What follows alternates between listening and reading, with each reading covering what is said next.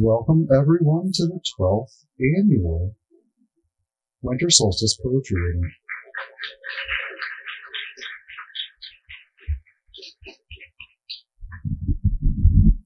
So I did this last year and I did not introduce myself. Hello, my name is Matt. Um, really excited to be here. Um, worked closely with Ed Davis to make sure that this continues and that this tradition uh, remains strong because I think this is a lot of value for the Yellow Springs community and, beyond because I'm not even from Yellow Springs. Um, so just really excited to be here. 12 years means a lot. A few housekeeping items. There's an exit. That's the way out. Right? If you go out and then you turn right, there are some restrooms. Other than that, there will be an intermission and we'll have some cheese and some snacks and some meringues that if you do not eat the meringues, I will take them home. Just throwing it out there, letting you know. Um, I wanted to let everyone know we are still celebrating the 10th anniversary of our poetry reading with this anthology right here. It is for sale out front. If you have not purchased a copy, we'd be very grateful that you did. Yeah. I have notes that I'm following to keep the show rolling in a meaningful way. Okay. A few thank yous. Um, this is probably the most important part. Thank you very much to the Tecumseh Land Trust especially to the Tecumseh Land Trust Education, Education Committee, which I am a part of. Um, Ed Davis, you are out there. Thank you so much. Um, couldn't have done that. This is this is a group effort. There's a lot that goes into this. Also, thank you to Glen Helen. Um, you're a large part of this. In addition to that, I would like to thank Melissa Bautista, who created this wonderful program. If you don't have one, they're out there. You can grab it. Last but not least, the media was our friend. And the Yellow Springs News is here, and Channel 5 is here, and you may or may not have read some advertisements in the Dayton Daily News. So super grateful for all of the word that was being spread around about our little event. I noticed that there are humans sitting in the back. I hope that you're standing in the back. I know some of you, but if you'd like to, there's more than enough room up here um, to sit down. It'll make it more fun as we go forward. Um, the next thing that I want to do is talk a little bit about why we're here. I'm going to welcome up Ashley, who is the new development director for Glen Helen. And we're just going to talk a little bit about what we're doing here and how we work together. So first, I'm going to say a few words about Tecumseh Land Trust, and then I'm going to pass it over to Ashley. And I did this because in, the past, I attended this event and I didn't always know, hey, what does Tecumseh Land Trust do? And well, gosh, I know a whole bunch about it now because I'm actually on the board of trustees and I absolutely adore this organization. And the main goal of the Tecumseh Land Trust is to help landowners protect their farms basically forever by providing them with conservation or by working with them to create conservation easements. And the conservation easement is an agreement that we enter into with the landowner that keeps the farm a farm forever, which is so important in so many different ways. Um, I'm, I'm going to stop there. I don't want to digress too far. But effectively, we can ensure food security, we can curb development, we can maintain our beautiful vistas. Um, we also help landowners with funding of, ha- of restoration products or projects. And I have an image to show you. This is a farm that we have helped to preserve forever and ever. And it will remain a farm and it will produce food for us. Hooray! Thank you. In addition to that, this is a wetland, a wetland that is being restored in conjunction with H2 Ohio. It is in Clark County. This is the way that it should have been forever, right? But it, it wasn't like that. And now it's, it's being converted back. It's significantly different than this now. There is water that has taken hold and it's, it's, it's being restored. So really excited to talk a little bit about that. I'm going to pass the mic over to Ashley and she can tell you a little bit about Glen Helen.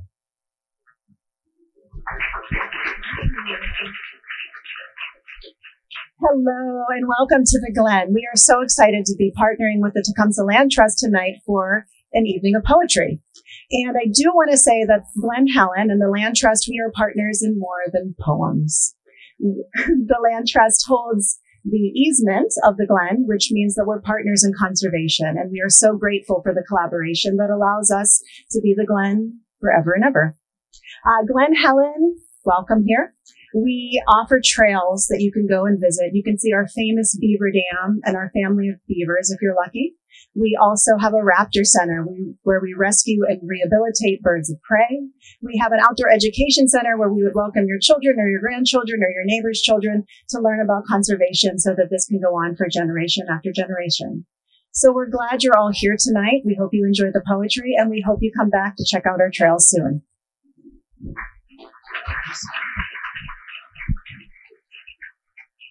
Okay, thank you so much. All right, now there's going to be a couple options. We are going to have 10 scheduled readers. They're going to come up. They got about five minutes each.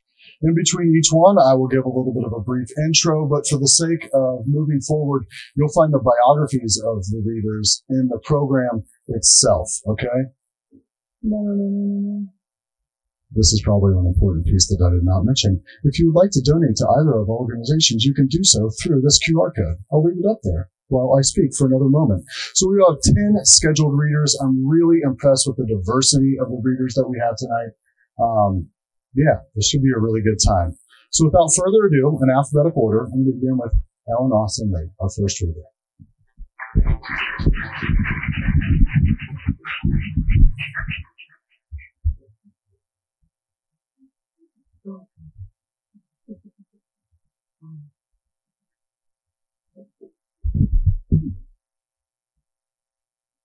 Oh, there you go. I'm Ellen Austin-Li.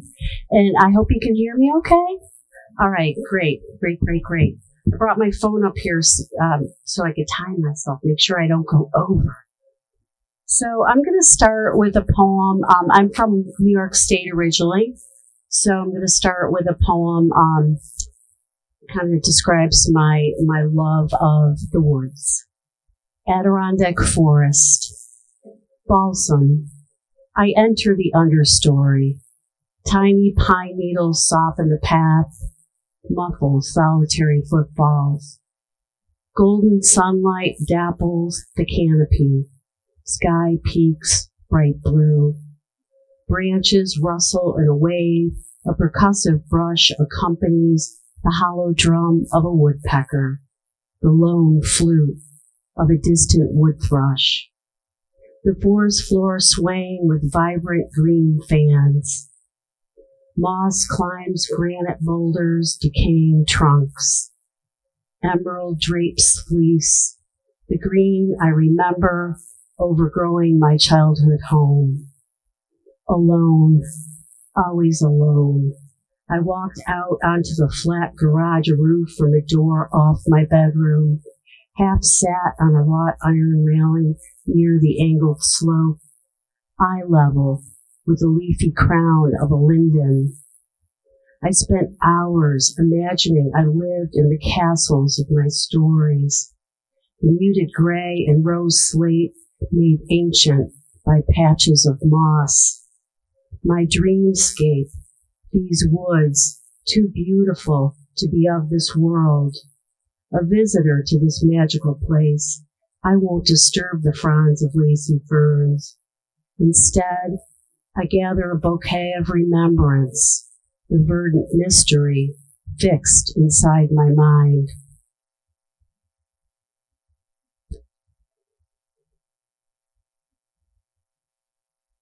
Oh, that's okay. Thank you. Thank you, though.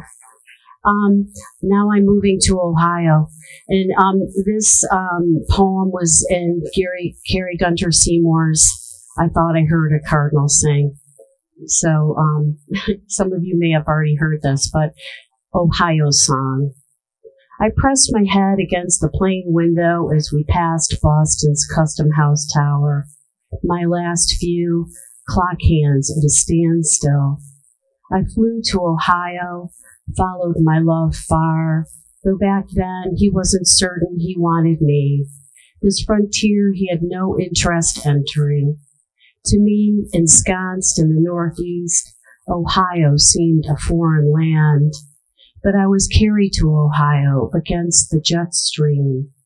Unmarried, time for a child nearly expired, I stood suspended on the bridge over the old Ohio, the Queen City on one side, Kentucky on the other, where the North meets the South, where slaves swam to freedom, where the steamboat's tall stacks replaced the tall ships in Boston Harbor, clam bakes traded for barbecue. Cue the sons, because where your babies are born becomes home. And I sensed the stirrings of my first one a few months after I'd moved. I swung in Burnet Woods like a little girl when I learned the news. Hands gripping the chain link, legs pumping, eyes fixed on the sky. So high. Yes, I was. Airborne. I swear I was carried above Ohio, hung up on this dream.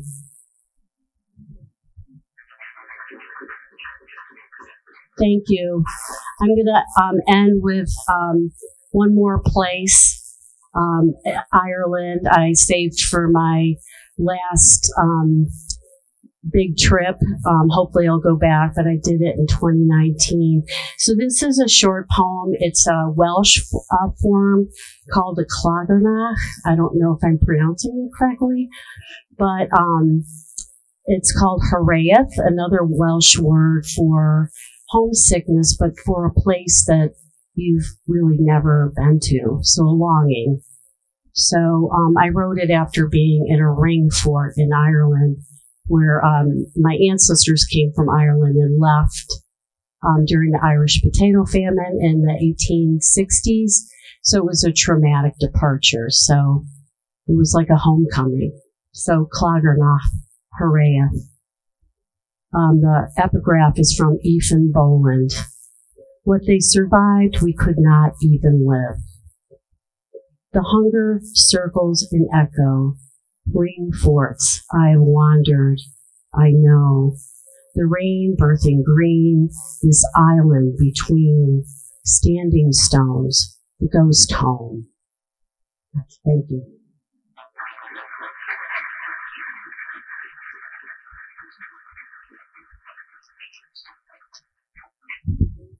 Thank you so much, Ellen. I enter the understory. It's that first one that I know was about New York, but if many of us remember the, the pine forest here and what it once was, and when you walked into it in the understories. Just an, an, intense experience. So thank you so much for that reading. Um, next up, Libby Bell.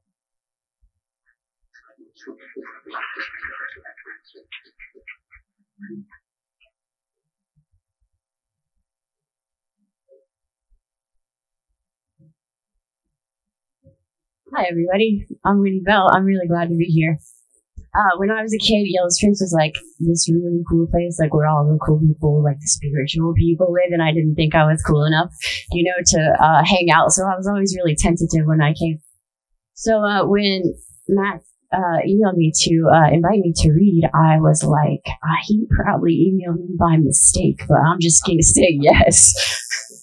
so and then my name's on the list, so here I am. Uh, I just started teaching. I wasn't sure that I was going to love teaching, but I do. One of my students in his final exam, he uh, kind of roasted me, um, which was really funny and really fun. Uh, but he called me middle age, you know, and uh, I was like, oh my gosh, that's so funny that he's calling me middle aged. And then I did this little number math in my head, and I was like, oh my gosh, I'm middle aged. So, uh, anyways, I am going to read to you from a book that I published in 2017. It's called High Street to the Indigo Dream. And uh, I emailed Dr. Herbert Woodward Martin. I interviewed him for the Dayton City paper. Um, I don't know if some of you know him. He's like a Dayton, Dayton legendary poet. But it was right after this book came out, and he told me that he burned all of his juvenilia. like all of the work that he wrote when he was young, you know? And so sometimes when I look at this book, I think, oh yeah, I could have burnt that one maybe. but, um, anyways, uh, this is one that I found that is a jewel to me and it's called Coast to Coast Magic. This part started with the breath. I woke up under the blue bedspread. Bob Marley's Legend CD spun through a waft of Nag Champa. My brother sat in my office chair, juggling magic sparkles a silver spiral glitter wave. He sounded wild-eyed, wild-eyed, as if he were having an epiphany, and smiled. The greatest wisdom, he moved his hands, forming an eight, is in the greatest works. When he cupped the infinity sign, four white doves opened abruptly into flight, like harmonious jet planes. They flew together in a circle to each corner where the walls met the ceiling, then toward the window. I startled awake. White wings fluttered against my neck and cheek, frantic, beholding a glimpse of the last dove diving into the 11 o'clock sun. In my dream journal, I scribbled, I think he meant books. Anyway. Um, so I ran into another writing friend not too long ago, and he asked me what I was writing. We do that sometimes. You know, hey, what are you, what are you working on? And uh, I was in this uh, writer's block because the last thing I had written was a eulogy, and it uh, lasted for a while. This writer's block, and I'd never been into a time in my life where I couldn't write, so I was pretty scared about it. But the grief was just too thick. But anyways, it kind of got me thinking about, you know, the end of life and you're supposed to make plans and what do funerals look like. And, uh, and this was one of the first, uh, poems that came out of, of that after I got out of writer's block. It's called, on the event of my death, please have a service in the woods in autumn. On the event of my death, please have a service in the woods in autumn, next to the Stillwater River, the village of my ancestors, at the waterfall from the creek behind High Street. I will meet you there. Maybe you could sing Let There Be Peace on Earth from the Methodist hymnal or Give Peace a Chance by John Lennon, the a cappella version from the Blueberry Patch Artist Colony. I will be here and not here.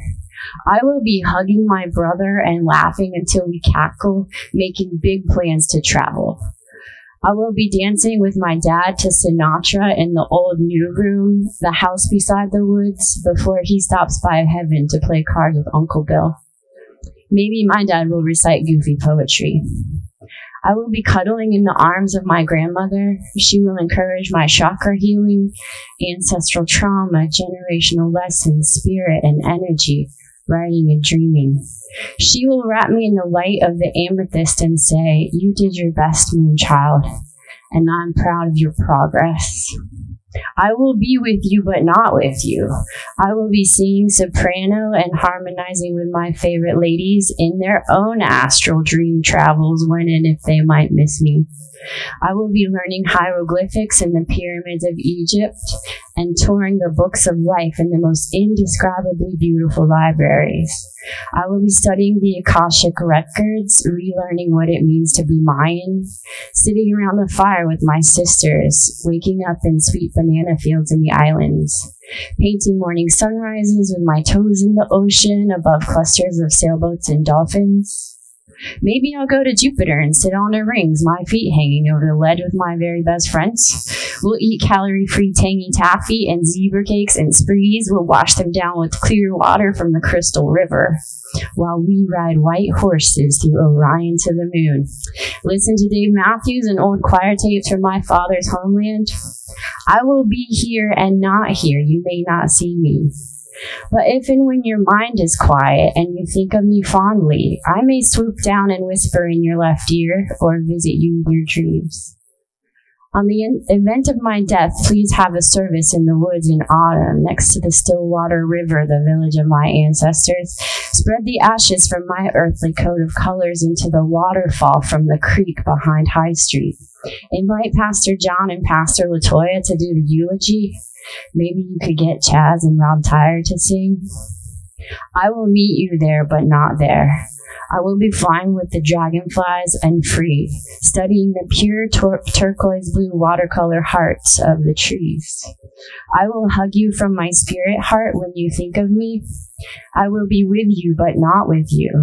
I will be chanting among my sisters and grandmothers under the stars, around the fire, sand dancing with my girlfriends from Florida, high fiving my brother and laughing until we cackle, and singing into your dreams.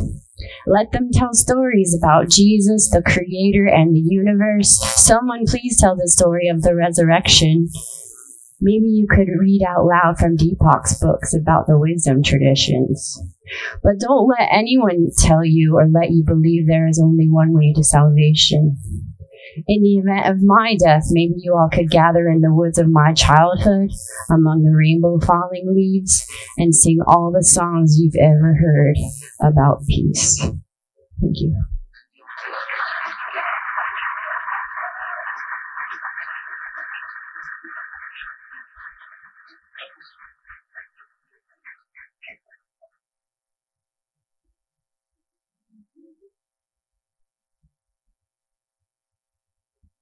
Let that one sit for a second. I uh, do want to remind everyone that there will be an open mic after the scheduled readers. I don't know where the sign up sheet is, but it's on an 11 by 17 somewhere out front. So we'll get to that when we get to intermission. Our next reader, Felicia Chappelle.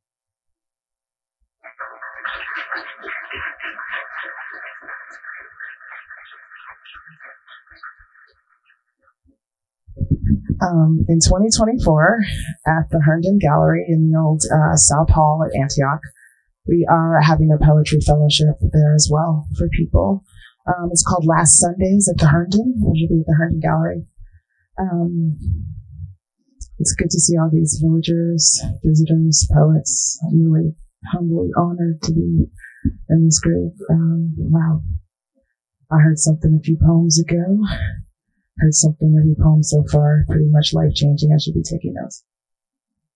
Um, this poem is for my friend. His name was John Sims, and he was my father, William Chappelle's favorite student.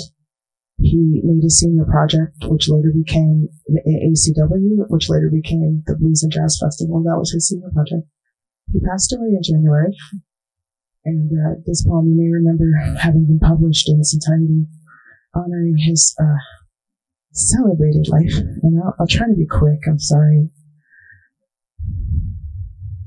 A birthday poem for John Sims in spoken math art. D equals distance from Detroit to Florida Panhandle. Solve for D. DOB 214th. DOD 12 December 2022. How do we follow a falling star? We think in math and speak in bars. March, one, two, left, right, walk, don't run, run, don't stop. Keep your eyes on the prize and your hand on the ball. Math on chalkboards, dressing for prom in spring. For old black men, one girl, one ring, math. Pay attention space minus the structure of one black man plus molecules of brain matter over love times spirit equals infinity squared based 2 times 262 post-COVID female body weight.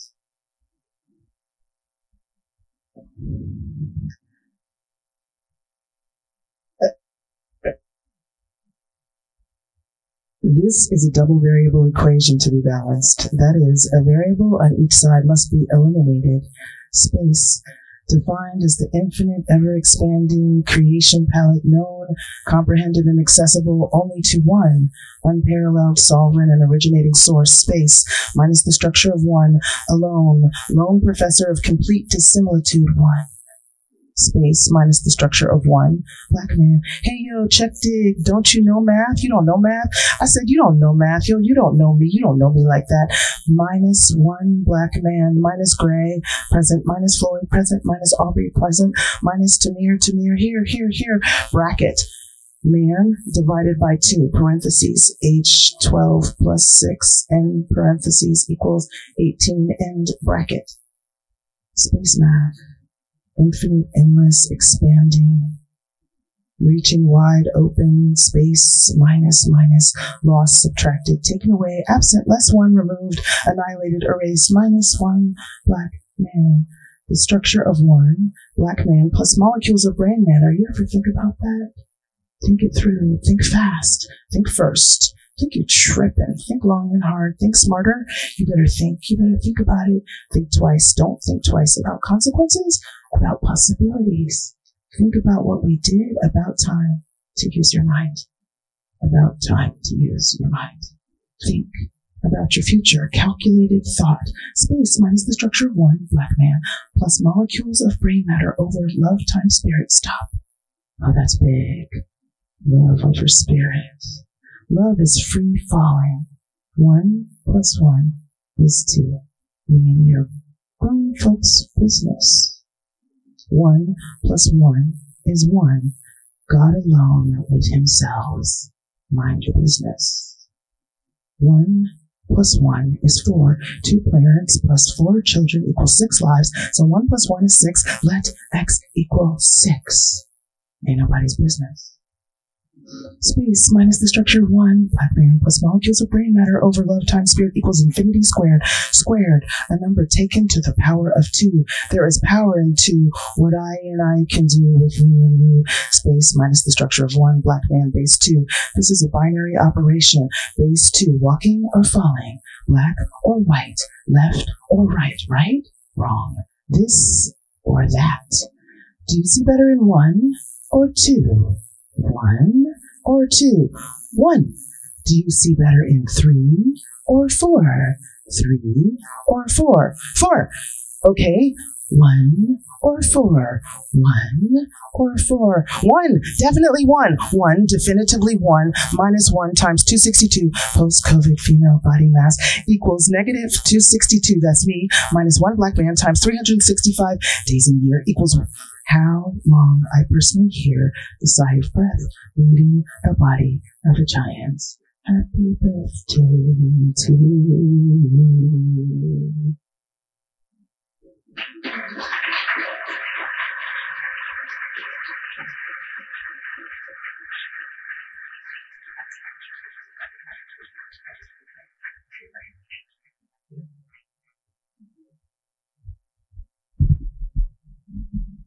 Twice.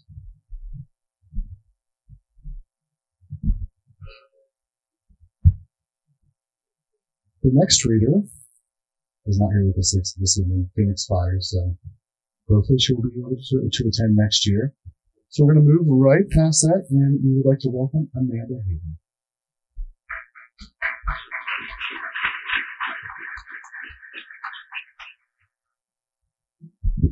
Hello. Following Felicia Chappelle is not intimidating at all. so I had two poems picked out for this event that went with the theme.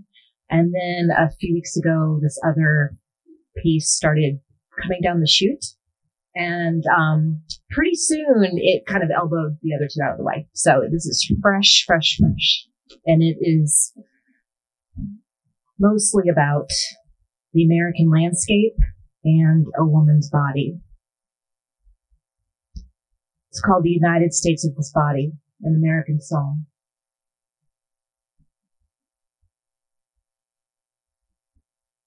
This body is rattle, snakeskin shed to earth. This body is underground bunker, tent, and yours. This body is tree trunk, roots, thick branches stretched and perfectly filled with perfectly swirled nests. This body is sparrow and sinew, spleen and sanctuary, Gemara and gospel, epistle and elegy. This body is tongue coated red, white, and blue, untied shoes. This body just wants to age with grace, becoming its own muse. This body is milk, let down cream, catfish mouth, and baby breath. Proverb, psalm, love letter, and lament. This body is overpass, bridge, and tunnel, sunken ship, vixen vessel, billboards warning hell is real. This body is pox, virus, and compost covering. This body is regenerating as it is hibernating. This body is detour ahead under construction, covenant, sworn oath, independent declaration. This body is land of enchantment, prairie and garden state, wheat, soybean, corn, and fingers tobacco stain. This body is daffodil and daisy, sunflower and magnolia, sequoia and sycamore, sweet gum and catalpa. This body is red-winged blackbird and cardinal, cactus blossom and waterfall. This body flies with her own wings, the heart of it all. This body is Red River, Rio Grande, and Shenandoah, cracked pavement, dusty miles, and dirt roads. This body is maple syrup on tap, sugar shack. This body is coal dusted canary of this country's mine shaft. This body is broken treaties, broken vows, and broken teeth. This body is rushing waters, maps of tributaries. This body is shushed mouths, erased histories.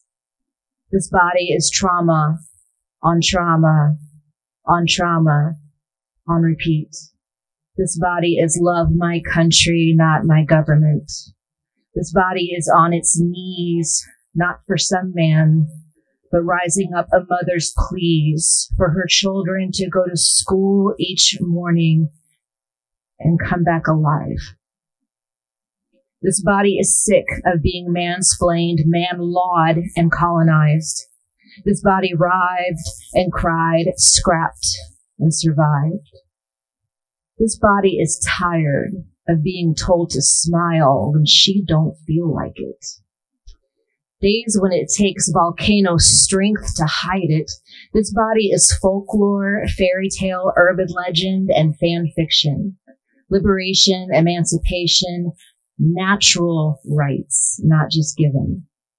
This body is broken systems, coins flipped into fountains, more valleys than mountains, more turquoise than gold, more shadow than smoke, more clay than sky, more funnel cake than apple pie. This body is po' boys and grits, Cobb salad, and deep dish.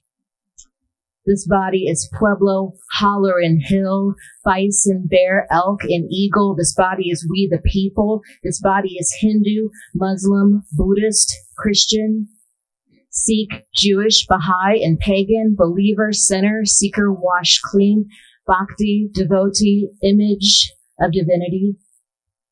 This body is your body. This body is my body. This body is poetry, slingshot into the void. This body is imbalanced scales, cradle, cradled in a borderless palm, whistling her wild and weary, centuries old American psalm. Thank you.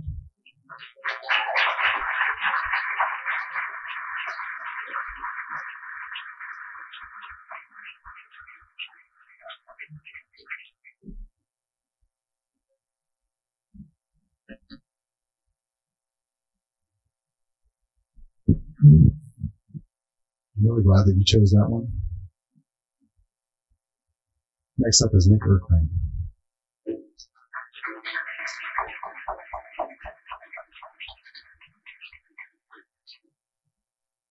Good evening, everybody. Thank you for having me. It's a it's a pleasure, and um, I know the prompt was very nature driven. Uh, but my grandmother died a few months ago, and so I kind of realized some of my poems were very much uh, about her and included her in a lot of ways. So I, I picked some of those and I'll donate a extra to the Land Trust. Uh, if you forgive this poor indoor kid. um, this one's called Naivety Scene. We were just two tangled strands of lights, checking each dead bulb to see what would fix the blues.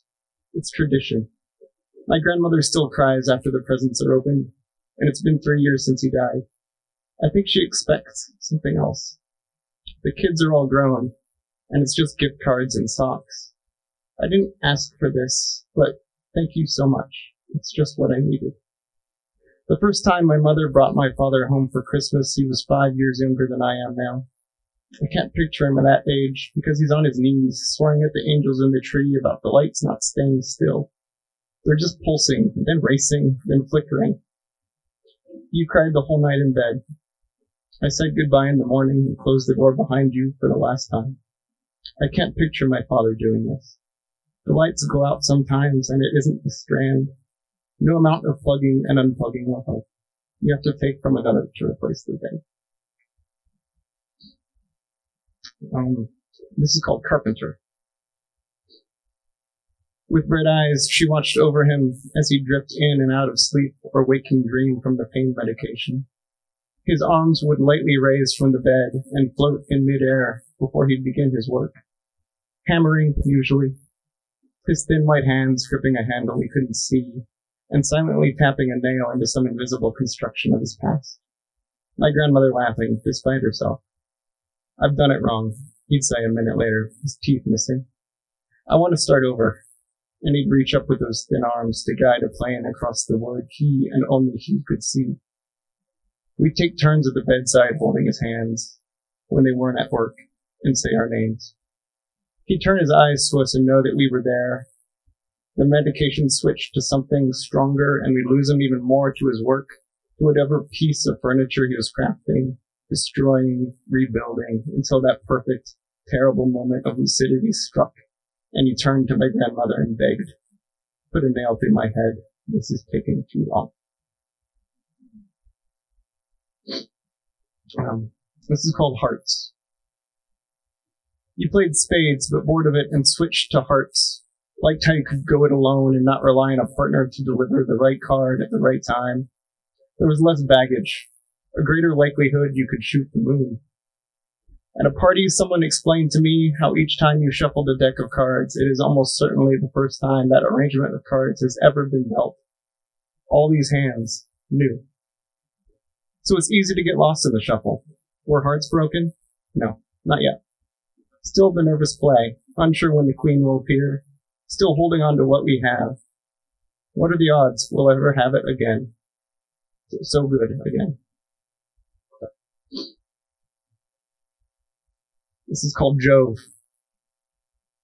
They're saying we owe our lives to the gas giant Jupiter, that it shields us from the collisions of city-sized debris hurtling through space.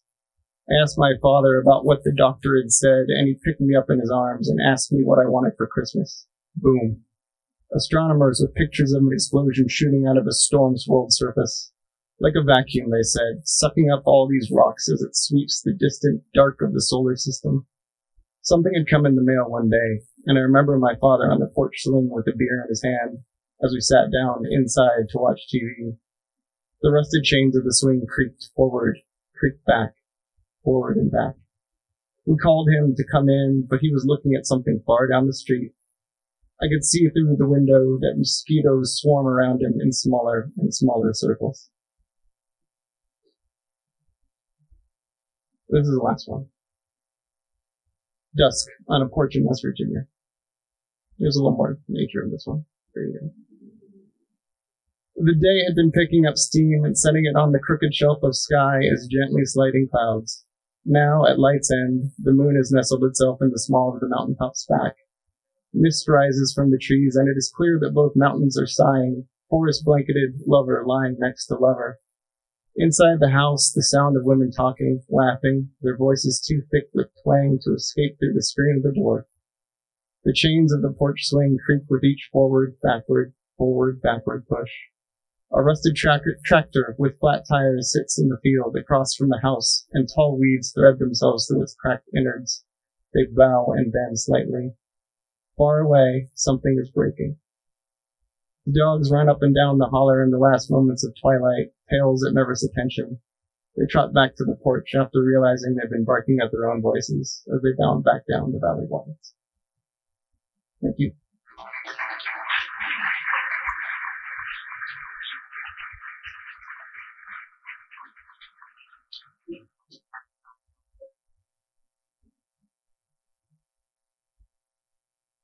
Great, grateful for your interpretation there. That first one was really important. I like that one a lot.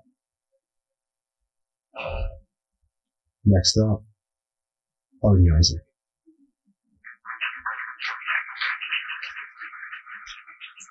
Thank you, Matt. Hello, everybody. This is so sweet and so encouraging. Uh, thank you uh, to the poets and everyone. I'm grounded uh, by three things, and I have a poem for each. The first that grounds me is meditation. And this is a short poem called Intention. It's what I think as I sit to meditate. It has an epigraph by Juan Alvarez. Life is here now. Everything else is just thinking about life. Intention. Skating around the fragile edge where my state of presence slips with the context, believing everything I think focused on proving my competence.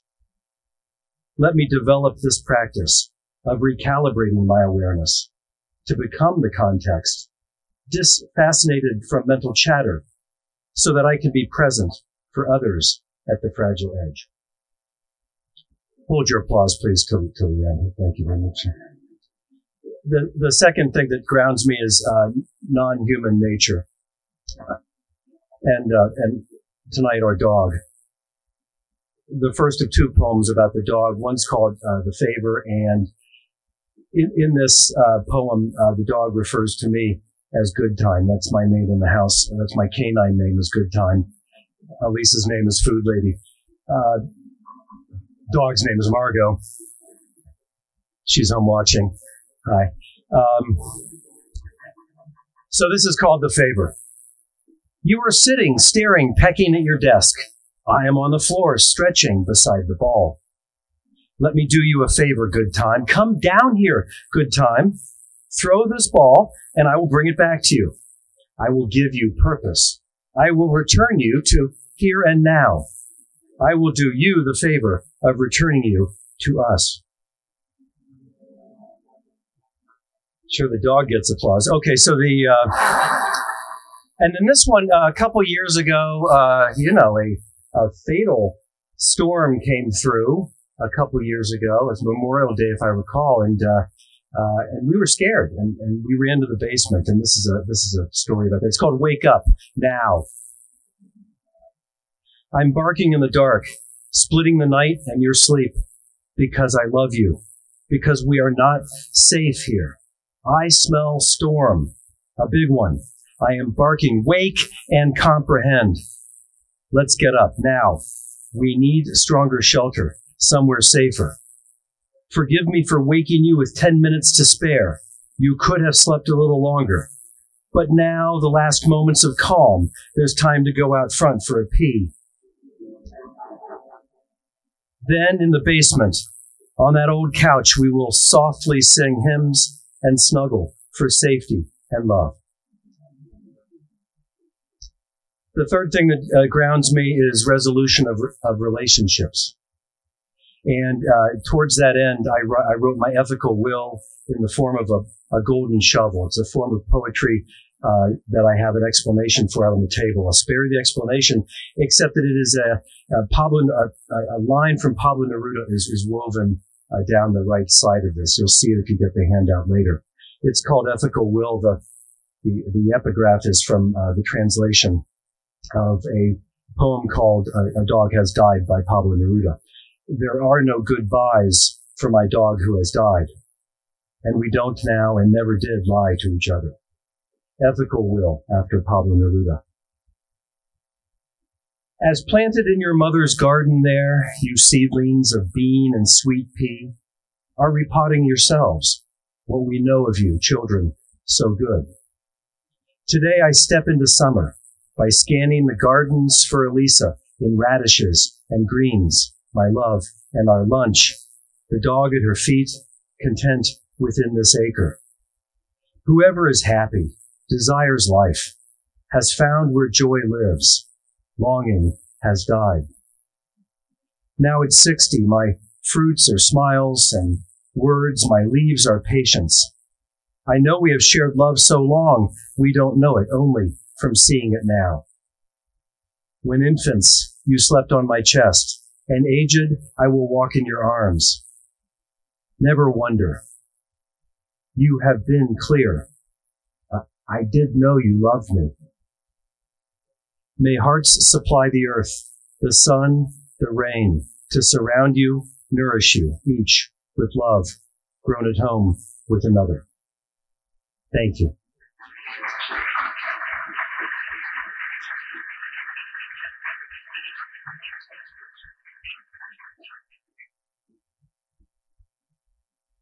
All over the emotional spectrum there. I love it.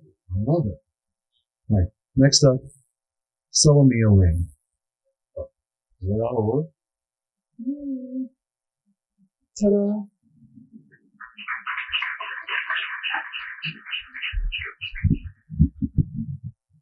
I have to say, I really admire these folks that can read from their telephone. Like, that really separates the generations, I think. Wow, I can barely even see that. Okay. First poem, I always write a solstice poem, and this is to 2023. And there was so much bad news this year, and so I wrote a very bitter one, which I threw out, and I have a tamer one for you this time. Not even bad news affects the turning of the earth. The clots of blood which soak the soil during the long dark night mean nothing to time's eternal clock. We are alone here on our little piece of rock. Pity us that we haven't yet understood that humble dimension as the cosmos unfolds timeless beyond us. Click, click, click. We creep closer to the sacred hour, avoiding the hungry ghosts of yesteryear, sweeping the dead from our thoughts. The moon rises brilliant and cold from its narrow bed, chasing the sun as this frightful year comes to its black end. At its nadir, we hope for the best. The return of warmth, the blessings of beauty, and maybe something else, a spirit to watch over us, a will to forget past enmities, a small blessing, a place on this pitiless patch of dirt that doesn't end in tears, because all of us are already captive. And yet, if we can't live in our own history, grounded in stories past, who are we?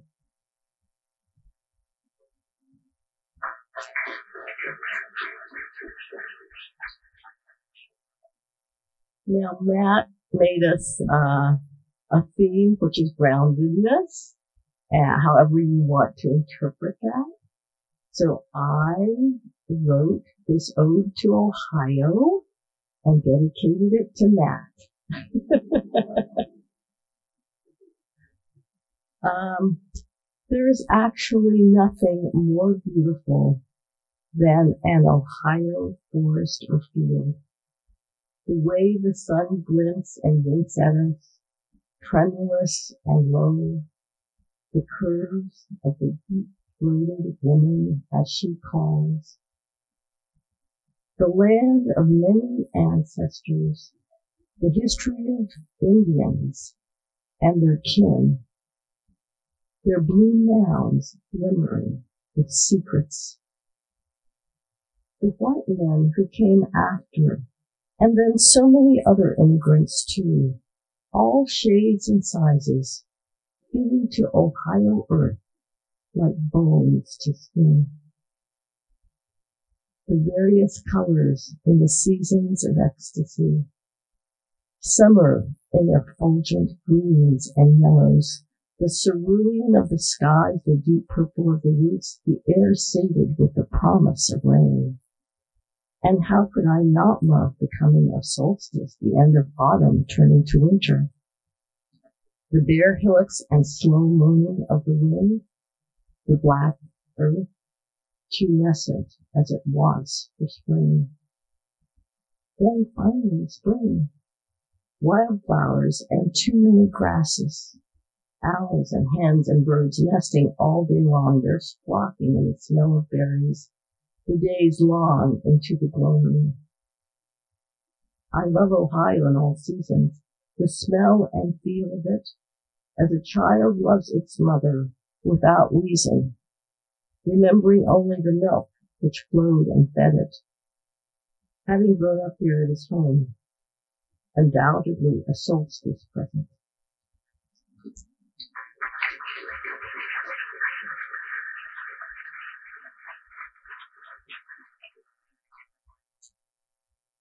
Uh, continuing the theme of groundedness, which was our homework, uh, this I wrote uh, for my mother about uh, China, actually, and this is called A Mother's Lament, and this is to be thought of as my mother reading this poem. Born in 1925, I immigrated to this country when I was 24. It has been 65 summers now, my daughter, since I left my home in the mountains among the four clear streams, 65 winters that I have spent with the foreigners, eating cold cereal that makes me fart, and avoiding cheese and poisoned tomatoes. I am going home, my daughter. You have promised me in this, my 89th year, to take me back. My brother is waiting for me and many relatives I do not know. New shoots of rice that has sprouted up after I left. My father died while I was gone, already many years ago. I cried for him alone in my room, the whole sea between us. They wrote to me, telling that just before he died, he sat straight up in bed and called my name. They are waiting to welcome me back with banquets. The young girl who left so many years ago, her hair straight and black with two long braids, swinging with vigor. I walked with a firm step. My voice was full and I could sing four octaves of true pitch. I barely said goodbye to my family, believing I would be back in just a few years. The winds blew me, the storms blinded me. I could not find my way home. I forgot the sweet, hot porridge of the mornings, the cool, clear air of night, my father chiding me to study harder. I forgot the lilt of the language, the spitting and the smoke, the tiny birds in bamboo cages, each with their own porcelain dish the chili peppers numbing me like anesthetic, the icy flesh of the lychee, and the pages, the scholars' pages, turning from left to right. At 89, I walk bent over. My daughter guides me, helps me pack and set all the boxes straight, sealing the presents for each one, because I am too old for all that. She tells me to stand erect and pushes my shoulders down, the same advice I used to give her when she was a child. I look in the mirror and see that I am toothless and lipless, and when I laugh, the lipstick goes on my gums. My hair is white and sparse. Even to myself, I would go through. And I hear my father calling me kindly. Itsun guan, itsun jin, sun jin nan mai, sun. A minute of time is worth a pound of gold, but even a pound of gold won't buy you back a second. I remember singing all summer long in our courtyard at home, romantic songs waiting for my prince. Father told me a story about a frog who had a big mouth and croaked day and night instead of looking for food. At the end of summer, the frog died of hunger. That was my father's way of reproaching me. I always liked wasting time. Here in America, where things are so cheap and easy to get, I go about buying whatever I like. And if it's made in China, I feel so happy as if it had come straight from the hand of my father. Although I was not real and did not go back, I remember him. How is it that I remember all these things from long ago? Those happy times that made me sad when I look back? Yet, when you tell me you are my daughter, my firstborn child, I am not even really sure it's true or what your name is. Come and hold my hand. Tell me that I am not shaking. Tell me again, repeat to me, promise that I will live so that you can take me back.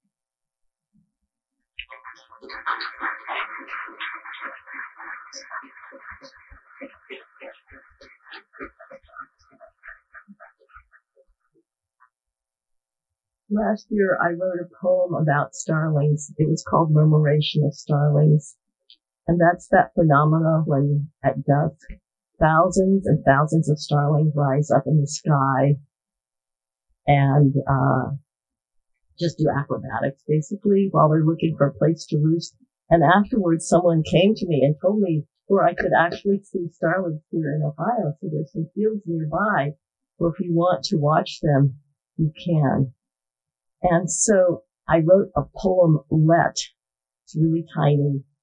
And I called it the susurration of starlings as opposed to the murmuration.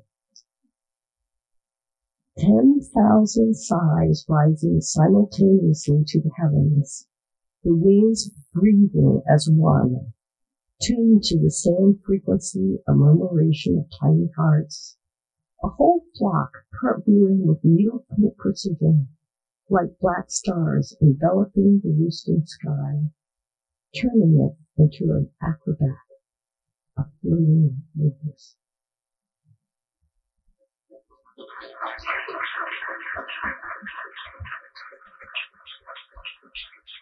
I should have I should have been like Artie and just said wait. But now we are at the end. So uh, this is my very last poem. And this is a poem that's in response again to a Pablo Neruda poem. And in this poem, Pablo Neruda says he only wants five things. Endless love, to see autumn, winter, and summer, and finally to have his lover's eyes always looking at him. So he only wants those five things and then he'll be satisfied. So in response, I wrote a poem saying, these are the five things I will part with.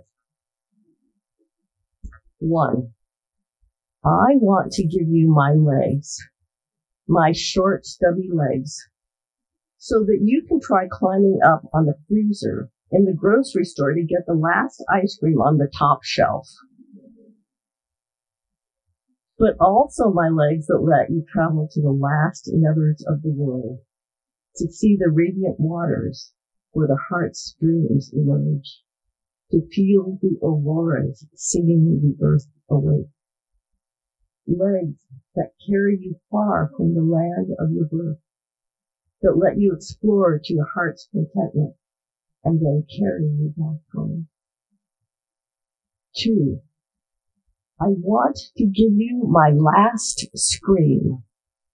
The scream that comes of hysteria when I enter the icy ocean, my breath suddenly frozen and my pubis hard as a rock. A scream of shrill ecstasy that dissolves into laughter. A scream that releases all the tension. A scream that resounds from the rocks of hell. Three. I want to give you endless love, so abundant it flows like water from a well, filled with the stars of the night. But wait, endless love, yes, but not forever love. A love with a time limit of five minutes, like we're supposed to have now, so that you'll never take me for granted. Four, I want to give you the smell of fresh laundry, starch collars, clean underwear, the smell of musk and spice all washed in and the smell of autumn and spring and summer, smoke and pumpkins, roses and bergamot, and humus and compost and the good strong smell of manure. Five.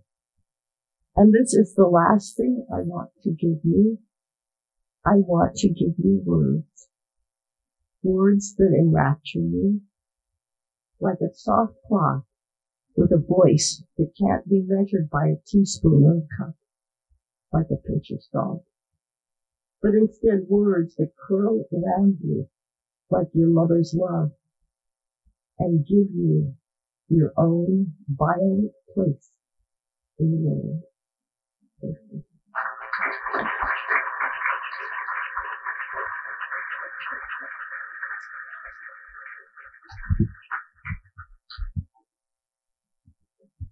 voice that can't be measured.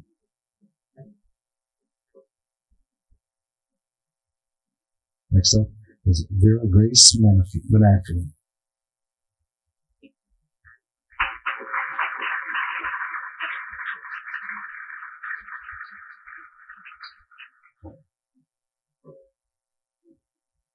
This is Menifee. um, but hi everyone, my name is Vera Menifee. Um, it's I'm so grateful to be here, following and a part of this reading. Um, Stella, that was incredible. I really enjoyed hearing your poems. Um, and everyone else before has been amazing. Uh, I'm actually a college student at Oberlin, and so I drove down today to be able to come. And I'm really inspired by Lucille Clifton's poetry and so I appreciate poems that have brevity and are short. So I'll be reading just a few short poems today. This one is called Sometimes I Look Up at the Sky and Wish I Was a Cloud. Sometimes I look up at the sky and wish I was a cloud. Wish I did not break so easily. Wish I could release my lonely and hug my hips the way clouds do when they rain. Taking up space in a tiger eye horizon, unashamed and anew how revolutionary it is to lift your heavy and become shades of air, pulsing like wind, weaving through blue, opening with bruised hues the way a leaf unfurls, longing to touch a star.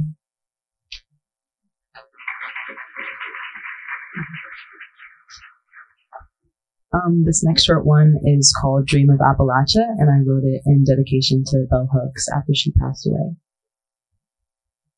The morning that I heard, I walked through your garden, the one you planted with your pen, and pressed my toes in frozen soil, touched bare soles on chilled stone to shock my nerves out of disbelief.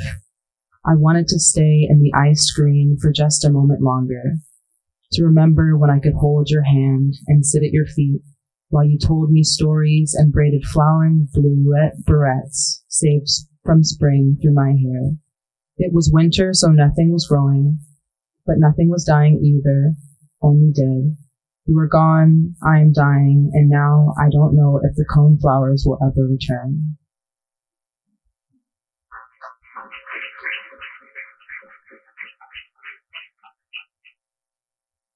This one is called a haibun for walking on water. When the world came to be too much, I found a path and the round of those backwoods where I could excavate loneliness and find myself. Alone in misty showers, my heart sank into a lull only hushed lily pads could bring to my chest. Droplets danced on my eyelashes, blurring what was in front of me, but somehow strengthening my step. I leaned into faith that day after being left in the rain. I danced along a path of broken twigs and missed turns. Mud painted the soles of my feet, and in rebellion of death I released my chrysalis. I dipped my toes into your center, a still water overtaking my drought and sorrow.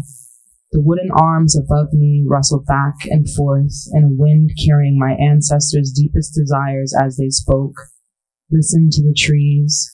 This land is you, you are me, waiting to be free.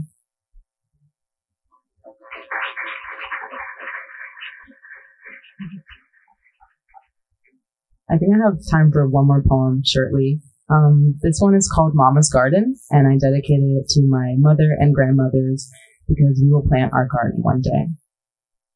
Mama's Garden has collard greens and kale, tomatoes and basil, pinto beans and black-eyed peas, sugarcane to sprinkle in pots of peas, green beans and legumes to sprout life into rows of corn she will ground into grits, Mama's garden grew without fertilizer or cool washes from working hoses or an asthma free breeze.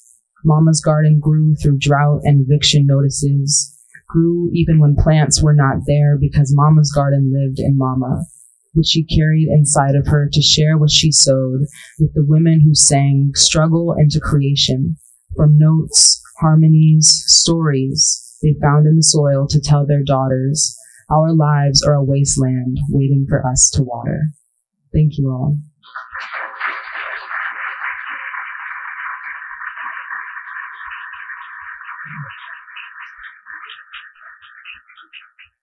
To Vera Grace Menafee, sorry that I botched that up. I hate it when someone mispronounces names.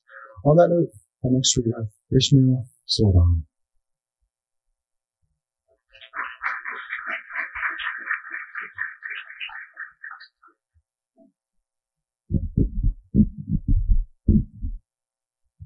So this first poem was written uh, in response to the theme that Matt gave us. Um, because when you think of the term grounded, typically the first thing that comes to mind is home and nature. But for those of us who are third culture kids, um, refugees, or from immigrant populations, home is a lot more complex. So um, this poem is called American Bedouin. You'll know that place of which I speak by the reverence it's given by those fleeing. The old playgrounds, first battlegrounds that now lie dead and silent as a shroud. The local patois neighbors used to speak, conquered by modernity, uprooted, upstaged, upsold. Lifetimes brought low by the hours, covered by asphalt and new developments. That place you thought would never age is now a price you cannot fathom. You'll miss what you do not see. House to house, as cold, a cold that defies the sun. Every man, every neighbor for themselves. The ghost of community exercised. Beneath the silky gaze of decayed luminaries, a constellation of lonely souls, each a prisoner in their home until they too are priced out. You'll know them by what they left behind. Houses knocked down, yards grown wild, traditions fading to the recent past, accents taken with them, word trails, new blood in old homes, their place temporary until they are gone, fates linked by federal routes, a nation on the run. Mm-hmm.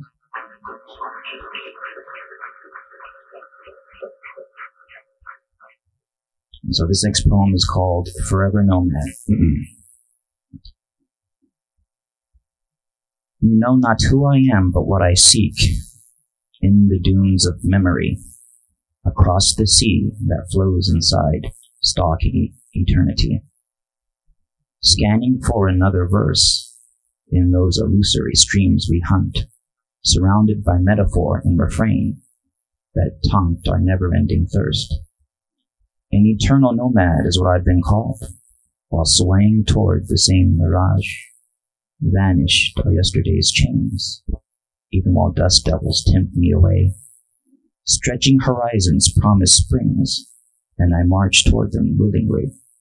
No pit of sand or waste can keep me from seeking your oases. Thank you.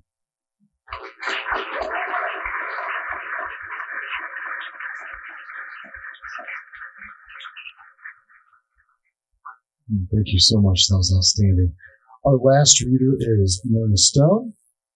Just a reminder that following this, we will have a short reception with wine and cheese, and then we'll come back in for an open mic. Last but not least, Myrna.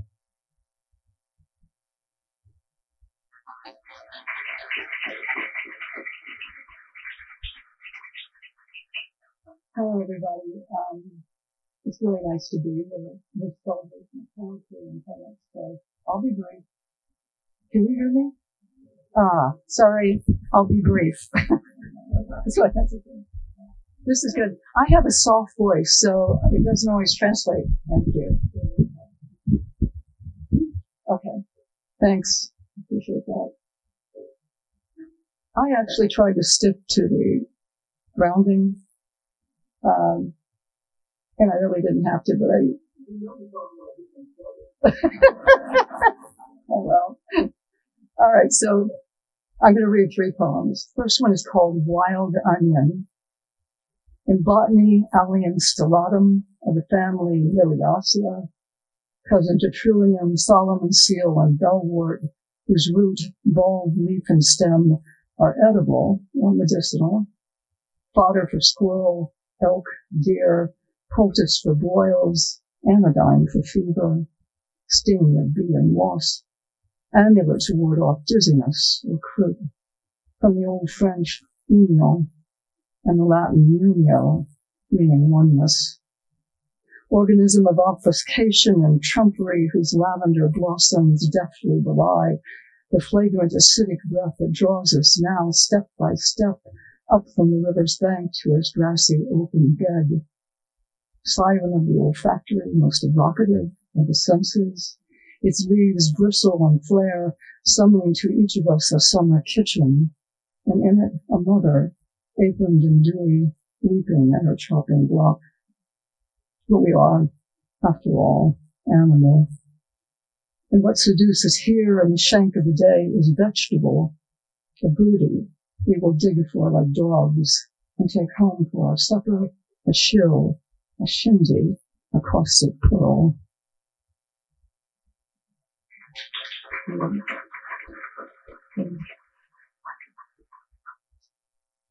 Taraxacum officinale, which is the Latin name for the common dandelion. Just a second.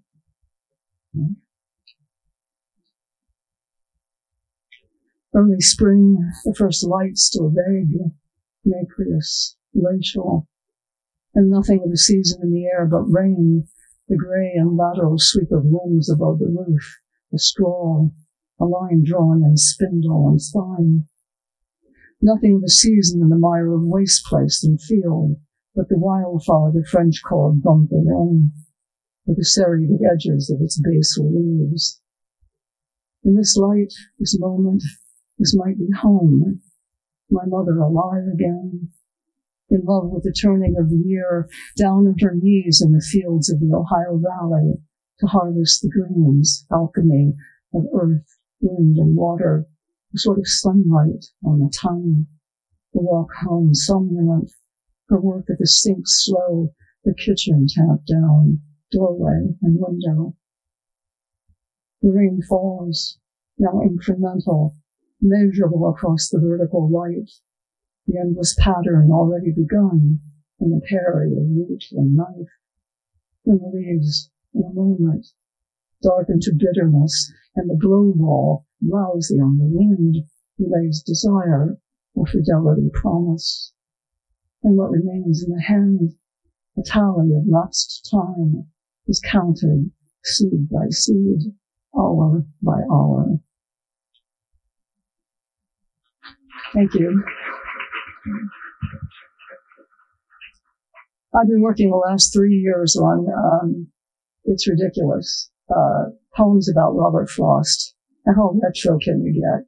And who and who cares, right?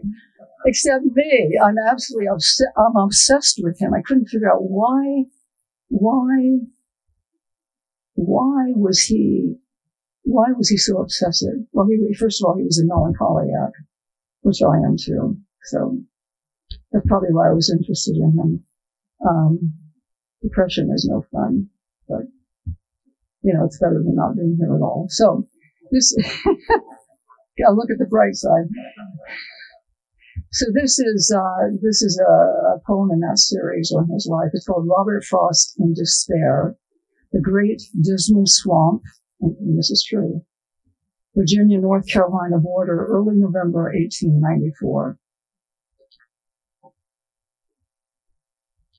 Does she or does she not love me? Will she or will she not mourn me? He recites, sore and beset, the phrase now counting down inside his brain like clockwork as he trudges ever deeper into the swamp. No lever or gear animates his sorry plight, save one, to purge Elinor White's heart of all but the bitterest regret for minimizing him in his quintet of poems bound in gilded leather, which he offered as proof to her of his newfound fitness to marry. Therefore, she must ready to bury him, if indeed his body be found in this abominable bog. All about are nettles, crossvine, and briars, and suicide by rattlesnake or water moccasin, if he dare employ it. Yet, even as he presses on, his grit first wavers, then wanes, his clever botanizing eye subverting his anger and stirring the focus on the mucky flora that reveals at last the folly of his grand romantic gesture. In an hour he shall be taken over by a band of duck hunters, rowdy and profane, packed in a ruddy skiff, who will forthwith carry him to solid ground and sanity. Thank you.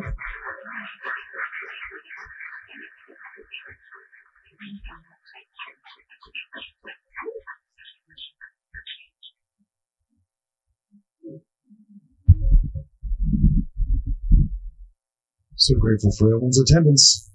You're, free. Please don't forget to hang around for the open mic. Señoras, señoritas y caballeros, todos a bordo, por favor. Every time. Thank you, Dave. All right, as I was saying, really like a good crowd that hung around for open mic, which isn't always the case, so I really appreciate that. Right, Ed? Yeah, thumbs up. All right. Um, I'm going to kick it off. I'm going to read a poem. Uh, I haven't read this poem out loud to other human beings, so we'll see what it is. We'll see how we take it. It's definitely not not a happy one, but it helps ground me, so I think that it fits. Ah, there's something really satisfying about holding a wooden pencil. I don't do it that often anymore. I used to, but it just feels real good. Right? Just thinking the same thing, Robert. All right, more loss. Thank you. More loss isn't breaking me. Late for a friend's viewing, frantic, searching for sunglasses everywhere. I looked in my bag and their case and both cars and bathrooms, laundry baskets, even the fridge. And the rush of rushing, the heat of uncertainty made me sit down outside by the car to gather myself when I felt them teetering on my head, sort of dizzily gazing up at the powder blue sky. It felt like a reminder from you to stop being grim. So I took a breath and searched for a good feeling I must have deleted to save space. Something I felt days ago to pull me up because I needed to feel through a warm feeling before heading into a stuffy, cold funeral parlor to publicly pretend that more loss isn't breaking me.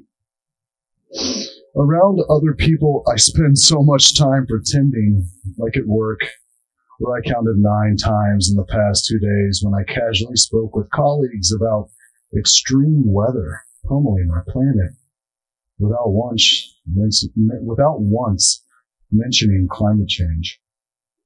And the way the living pretend we aren't killing ourselves has made or has me discarding emotions to save space for hope.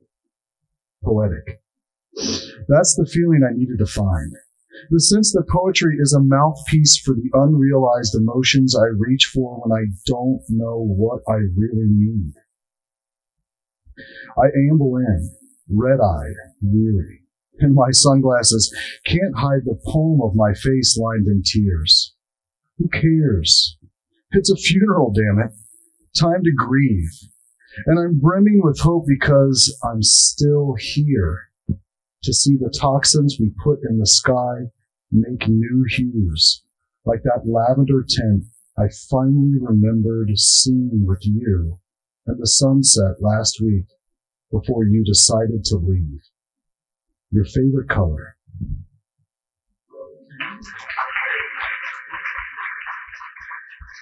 Hmm. Next up is Anna Cates, and please feel free to introduce the person, the person who's coming after you.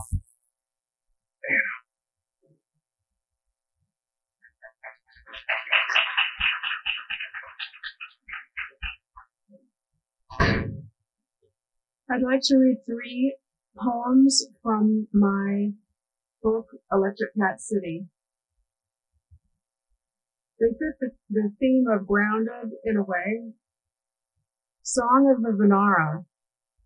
While memory still proffers, while faded parchments still offer hints, as old laments still haunt the hallows, each twilight slowly fading, Hear my song and know that I am in you. I hid in Himalayan heights, emerged from the depths, lingered in jungle shadows, passed from darkness into light. I am in you. As histories converge, I too am part of everything, not as wild as you thought. Bards wove me into melody.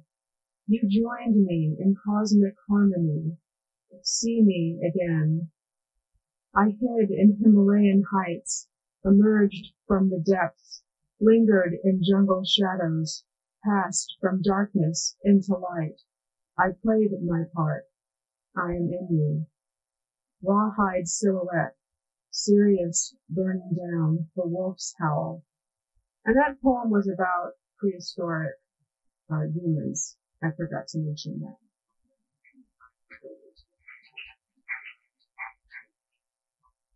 And this poem is titled The Veil. Quote, there is no exquisite beauty without some strangeness in the proportion. Edgar Allan Poe. Concepts blur. Images ripple through the mind. Those depths fathomless and murky, tangled in seaweed, restless and beset by storms. At shadowy hours rested ships ride virgin seas, waves scintillate with moonlight occultation.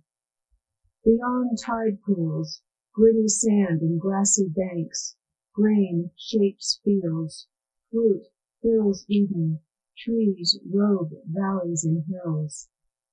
In Merman's dreams, beyond the aqueous veil, Dry land goddesses waver in curious shapes. Maidens, wives, hags, peculiar stars, the daring enter as they are. Fallen stars blooming into pearls, thunder.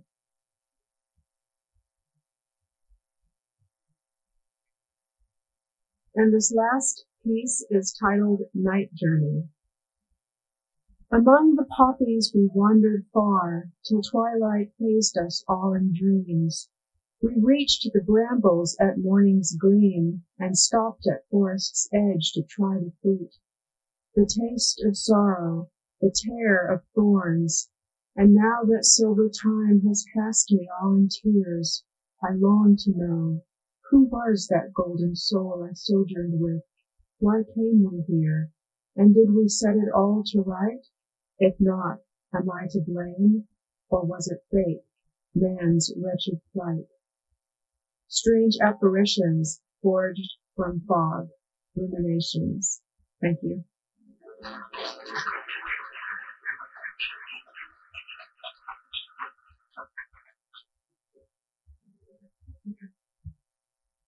Next up is Roger Fortin.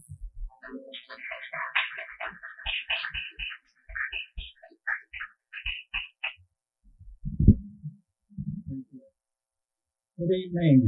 It's good to be here. Louder? Okay, I'll stand right here. How's that? Okay. Eat the mic. Okay, good. Well, I've never really been into poetry until about seven years ago when poems started coming to me at about 3 a.m. in the morning. And so uh, this first poem is called Very Early Morning. At 3 a.m., the veil is briefly lifted. The darkness is more penetrable. Being present is effortless, and breathing is audible. Ego and soul are friends here. Great peace abides. Now's the time to present questions to the oracle. Who in my dream is ringing the doorbell in the middle of the night? Why is the great lion commanding my attention? What is the sleek black panther seeking, facing me head to head? Messengers from the unconscious, waking me to a deeper life.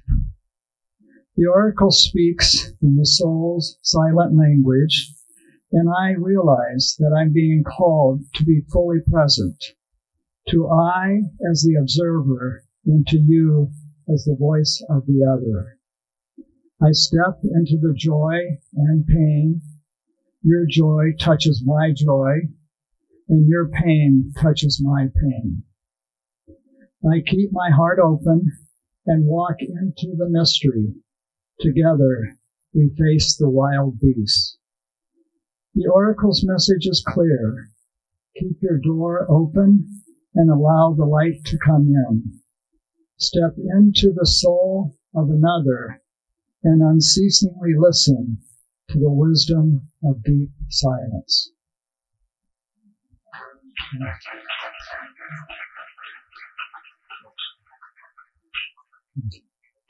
The second one and last one is uh, Who We Become. And this is a second half of life poem. There is a point in our life when our goodbyes become more frequent than our hellos. When the walks we take to nowhere are more fulfilling than the walks we took to somewhere. When the weathered hands we hold feel more precious each day. There's a point in our life when our afflictions are doorways to our blessings. When the life we could have lived pales in comparison to the incredible life we have lived. When we recognize that the greatest gift we bring to humanity is our own inner peace. There is a point in our life when our love and our hate understand each other better.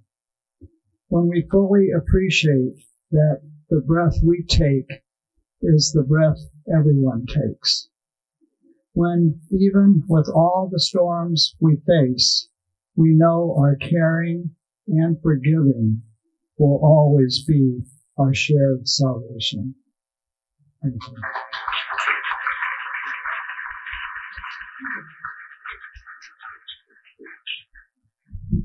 Thank you, Roger. Please welcome Ed Davis.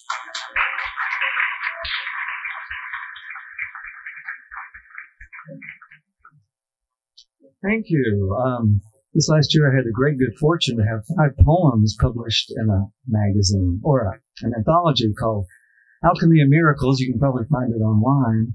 But five poems in one shot. yeah, thank you. And uh, my friend Anne Randolph, who will speak shortly, is also in there with five poems. So very cool. So I thought I'd read ten poems. No, two. um, I turned 70 year before last. Time flies. I'll be 72 in four more days. So this is called 70th October, my favorite month. It has an epigraph. There's something in the autumn that is native to my blood. Bliss Carman from a vagabond song. It's a long way if you're going slow. The path's the same, but dustier. We've been weeks without rain, and now it's October again. Too often I fly down these paths and do not see these gleaming berries, these sun-clenched branches, having brought my studies cares with me. My knees appreciate the slower pace. I cross ground softly, do not race. Fear of pain has me stepping slower, setting every foot down with love Sun sends sympathizing light, declining since equinox. Like me, the canopy grows tired, leaves droop, some already fallen. All that grows declines and dies, but still shines one last time, even sings in its going.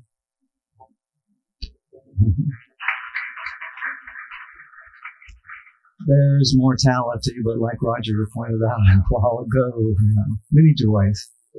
Uh, this one is, um, I guess, spawned by a recent visit to Hocking Hills called This Day. Down from Old Man's Cave, we ascend sky steps of sculptured stone, a staircase spiraling up into air over queers, queer creeks, low oboe burble. Deep pools mirror late spring green. Away from water, it's nearly silent. Hovering cliffs oversee the glen. Witness we mere mortals scrabbling up and down banks, squeezing between stones. One misstep could break bones. We behold a boulder gripped tight by tree roots, a woven world. Through a tunnel cut through rock, we sidestep, straddle, then splash, emerge into light, rebirthed. These gifts, this time will never come again. this day and no other, this prayer and no other, for the world to recover, continue to thrive with or without us, abiding, enduring, alive. Thank you.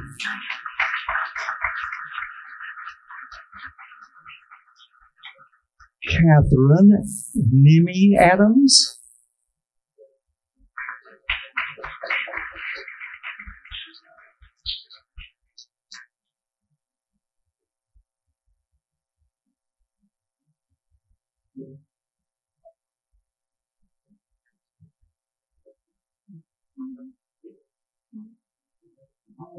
I'm naturally quiet too, so.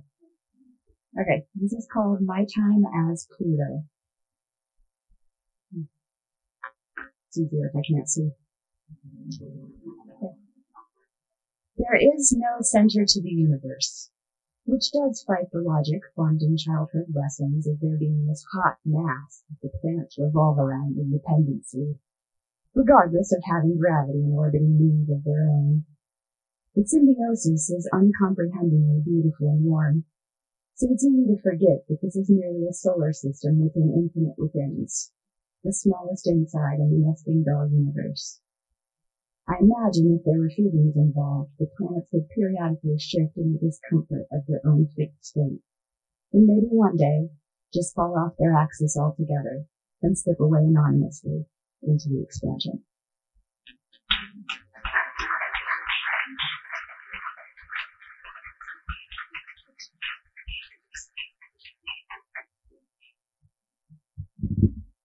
And.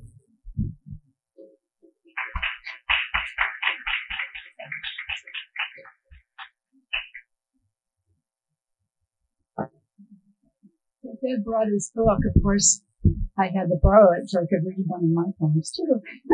I wasn't planning on it, but now I am. Um, okay, so the first poem is about Glen Helen.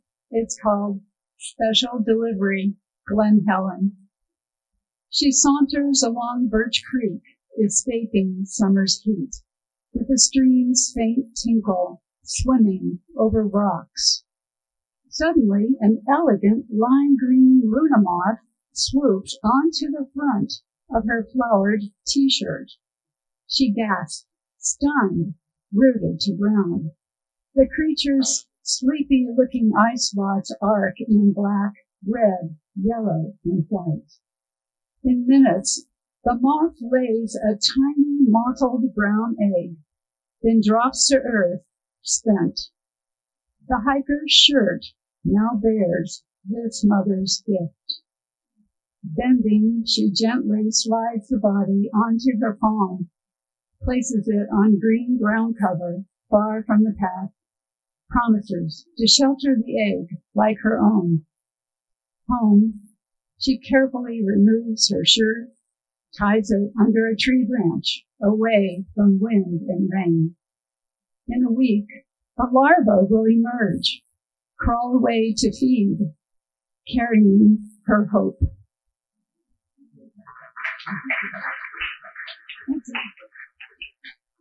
Thank you. Very much. So the next poem was written um, during a trip to the Humboldt Redwood State Park in California, which is a fabulous place to visit. Um, this is how it makes you feel. Humboldt Redwood State Park, California. Like Lilliputians, we wander, insignificant as ants, among thousand year giants, thick muscled, blackened bark that fires cannot kill. Rust orange fissures split trunks like stretch marks signal new growth. I step up to a massive trunk, place my ear to a small orange orifice. Hear high-pitched sounds like water rushing, wings beating, wind whistling. When I withdraw in awe, a blanket of quiet envelops me drawn to the opening again, like a bee to a cosmos flower. I close my eyes, bathe in the nectar of ancient voices. Thank you.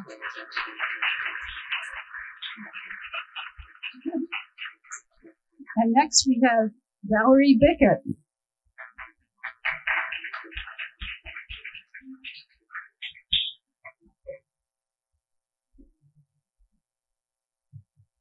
Hi.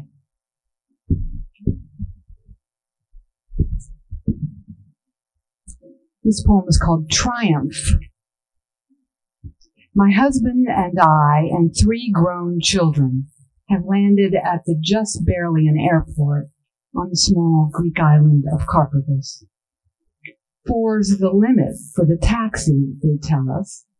So my daughter and I go first, and now, half an hour later, she and I are waiting for the boys, barely talking, sitting on a wall in an empty lot across the street from our little hotel. No one yet at the desk. Not even eight on a Sunday morning. The sun in the all blue sky already hot. Stirrings in the houses, murmurings, doors closing, the smell of toast.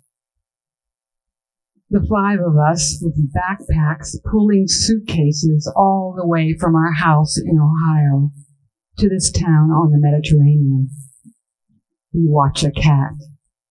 I take some pictures I will end up losing before we leave. Up in the middle of the night in the Plaka, a long bus ride to the airport where we waited an hour at the gate with other people waiting to go to this place no one knows about.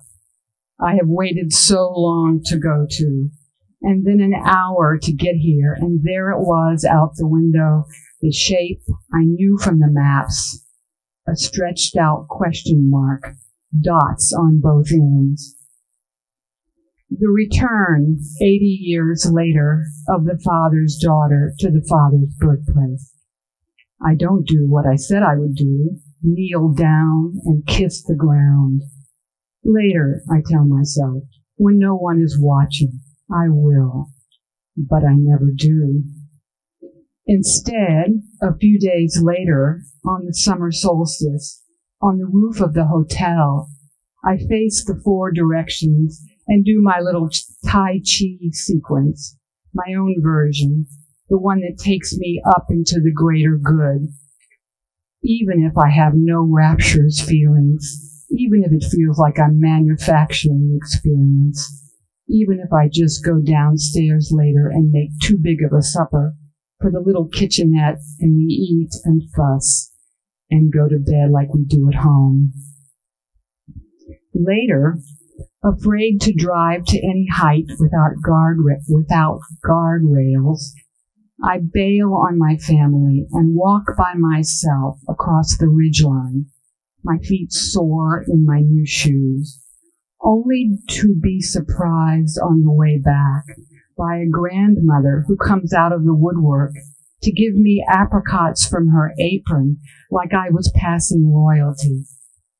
She sees me, must see my father's ashes that I myself forgot were in my backpack, returning the father to the father's birthplace. And what did I do but thank her, Eucharisto, and keep going like I had to be somewhere. No time for all nine yards. But of course, there was time. I could have easily thrown myself down, spread eagle, on the runway and closed my eyes. At the airport, in a Aperi, around the field chapel where we spread the ashes, or at the feet of the good mother, who, as it turned out, brought the ground to me, lifted the host to my lips, offered the breast that had been ripped out not only of my father's mouth, but my own.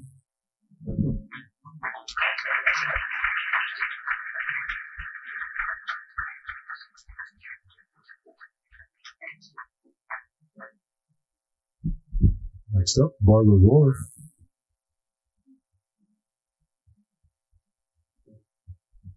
Followed by Dave Garrison, Robert Paschal, Abigail Cobb, Suzanne Garrison, Karen Scott, and Nicole Waldron.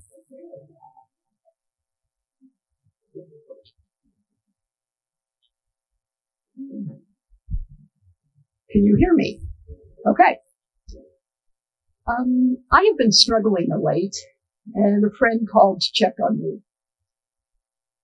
I said I was crying earlier when I need to be putting away my outdoor furniture. I have guys coming in a little bit to clean the deck. So what am I doing? I'm sitting here writing a poem. And my friend said, that sounds about right. So we both agreed when we are overwhelmed or hurt, we would all do well to sit and write a poem. This is what I wrote that day. It's called Morning Prayer Interruption. I saw the tail first, thought it was a squirrel, until on the opposite branch strode a young raccoon, babies venturing out as if called forth by the safety of prayer. My dog Rosie barked, not at the young ones, whom she hadn't noticed, but at a delivery truck on the street. The raccoons took notice, retreated to the hollow slit further up where no doubt they were born. I went on with my prayer, adding that young ones everywhere have a safe place to retreat while a big dog keeps danger away.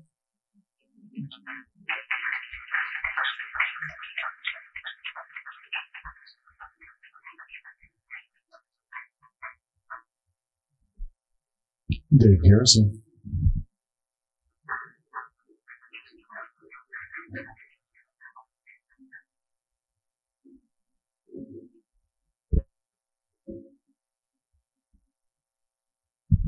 Hi, I just, I'm going to read one poem. And I just picked it out kind of at random, but I realize it has something to do with an artificial solstice. Uh, when I was finishing my PhD, I used to close down the library and walk home through a rather dangerous district of uh, Baltimore. And uh, the crime was such a problem that uh, they had these really serious high crime lights that were so bright that the trees thought it was spring and started sprouting. So that that was the uh, solstice I went through there. But anyway, and that's just part of the poem. The poem is called "My Masseuse Speaks Out Against Violence," and this is the masseuse speaking to me. This is lavender oil. You like the smell? And the music is my favorite. Stardust Transcendence. Let me know if you're cold and I'll add a blanket. And just holler if I press too hard. I don't want to hurt you. You've got a big knot in your neck, so relax while I work you over. How does that feel? Better? Sorry for the long drive out here. I had to move out of my place downtown because the anti-crime lights kept me awake. I own a gun and wouldn't hesitate to use it. No, sir. If somebody breaks in here, I waste him. Roll over now and I'll get your back.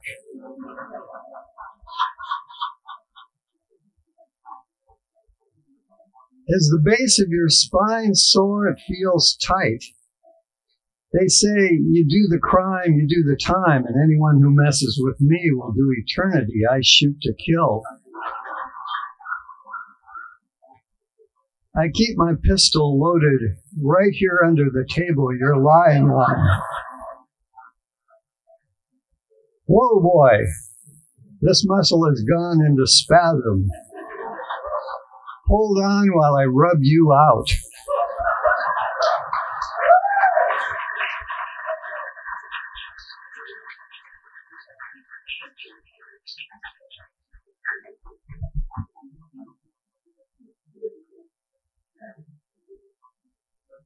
I know that poem.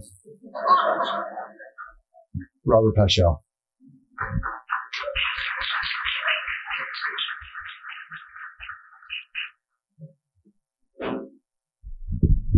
I, I am with it and I am not with it. Uh, it's uh, very uplifting and humbling to be here. Uh, there is a throbbing fluidity to the movement of a small flock of birds as they sweep down from tree to ground, and when danger threatens are swept back up again to branch and bow as if a net were being hauled up and each knot tied was the tag team body of a bird. And when they alight on ground again, it's like liquid chain mail poured from the picture of the sky with one or two loose couplings and frizzy ends. The birds have got their buddy system down all right. And it's the flock that can lift off of a field like a tarp plucked up by the wind, like a life mask of form and contour peeled off the ground, like an undulating hand lifting from the earth. Now I'm not, I'm not real solid on these. Let's see. Thank you. As day slips into evening's depths, the sun sings like a humpbacked whale. Long gray, low-lying clouds are its flippers. Its tail is the motion of stars.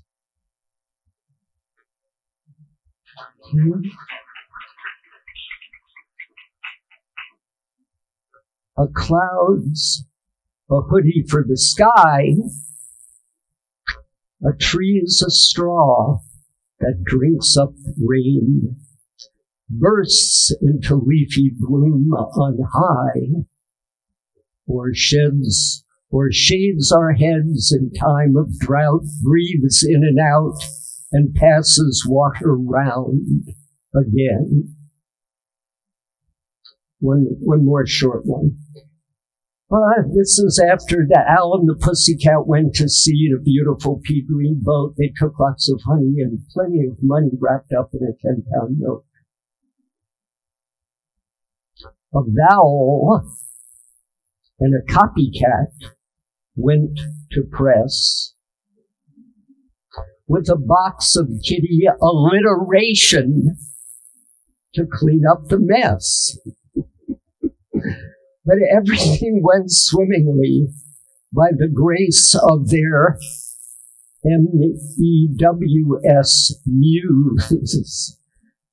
Cause they minded their pea green peas with a cumin in the course of their cruise.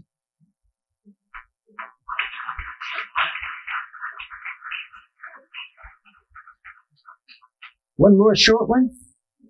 I'll see. I, I'll see if my memory serves here. The round-faced pillbox bug cradles a pewter teapot, wears a lustrous gray fringed shawl, venerable grandmother, mustached, hunchbacked babushka, bustling about in the leaf litter, carrying her birch bass basket, basket to market, mulling over the price of potatoes and cabbages as the full moon rises like an emperor moth on the oversized wings, looking for a place to land.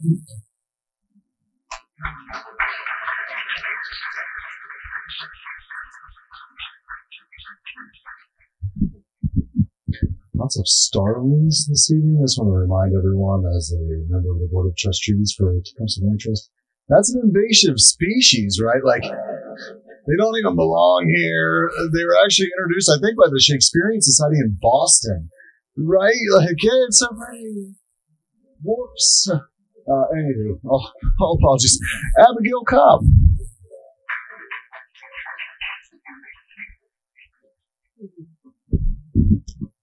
Uh, this is uh, Autumn Poem 2023, also called Tikkun Olam, which is the Hebrew phrase meaning, among other things, to repair the world. It is in the softness I feel it, in the clear light of a late autumn afternoon, sweet sunshine flooding the hillside, unobstructed by bare branches. Or on a damp autumn evening, twilight mist softly shadowing dark trees before the moon is up. I feel it, a presence of calm, of quiet, touching me in gently moving tides of well-being, telling me that all will be well, is well, and that the only path forward through hell is seeing beauty everywhere, in everything, even in ugliness, and speaking kindly from a forgiving heart the infinitesimal steps to save the world.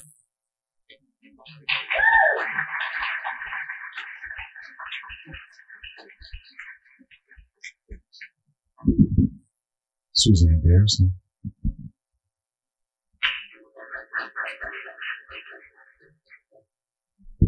Thank you. This will be brief and painful. Uh, painless, painless, painless.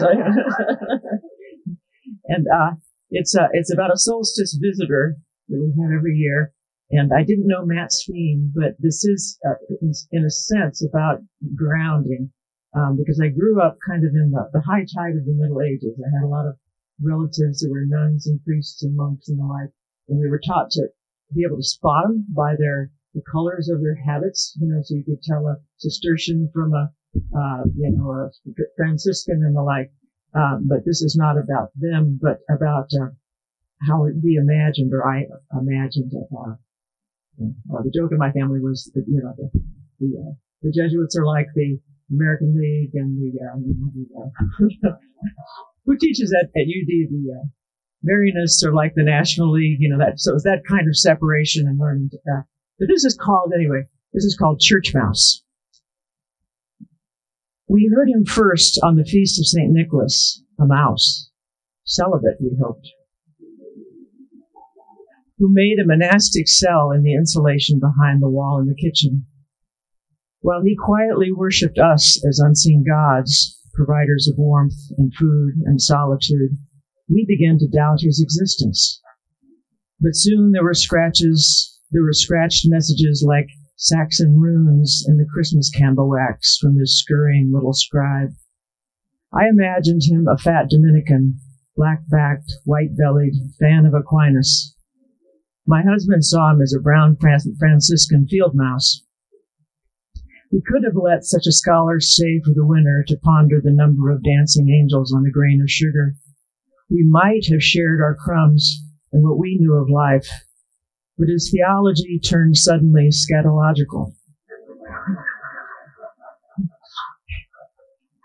We had no choice. A regular monk Luther on the pot dropping evidence of his angst in the silverware drawer. In the snapping trap of a counter reformation, we excommunicated him.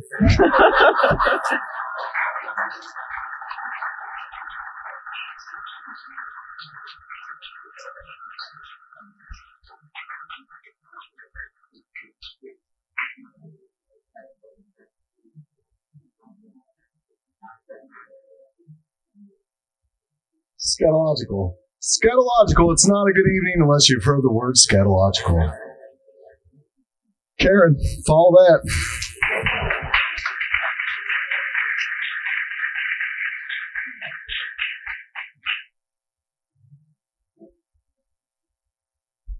I was just thinking that if it was in my house, that would be a very shorter poem because I I have a cat who's a certified mouser. He's got at least six kills to his to his uh, fame. So Anyway, I'm to turn serious for a minute. Um, usually when we have gatherings of poets, it tends to be poets listening to poets. My question is, and I can see by a show of hands, how many of you are members of the Ohio Poetry Association? All right. Those people with your hands down, please consider joining. Um, not only do you get membership in the Ohio Poetry Association, but you also become a member automatically of the National Federation of State Poetry Societies. Say that quickly. And you just need to go to our website, ohiopoetryassn.org, and you can do your membership right there. And I'm going to do one poem. My muse, as usual, was being quite fickle. So I didn't get anything written for grounding, so I pulled out a poem and it's pretty old. That's the closest thing to grounding. Roots and wings. Give them roots and give them wings. That's what parents are supposed to do. It's never as easy as it sounds. Because when she leaves, I miss not only my daughter, but my best friend too. Give them roots and give them wings. I guess it's a testament to a job well done when your child tells you she's not moving home. But I'm human and selfish. I want her home with me so I won't be alone. Give them roots and give them wings. When she talks of Boulder, Portland, New York, I die a little inside. To have her so far away, I dread the thought. Give them roots and give them wings. For all the dread of her leaving me, I want her to fly to grow, to experience her own life, to make her own way. I've given her roots, a safe place to launch from. I've given her wings, maybe always bring her home, because this girl is going to stretch her wings and fly. Thank you. And next we have Nicole Waldron.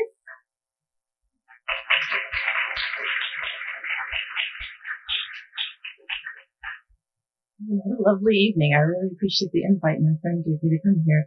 Uh, and then after most of the poets, I went, please don't let me be next. Please don't let me be next. uh, it's, it's been really lovely. Um, I think you mentioned the generational thing reading on the phone. I'm actually reading a picture of my notebook because I didn't bring anything with me. So this is the intergenerational move here.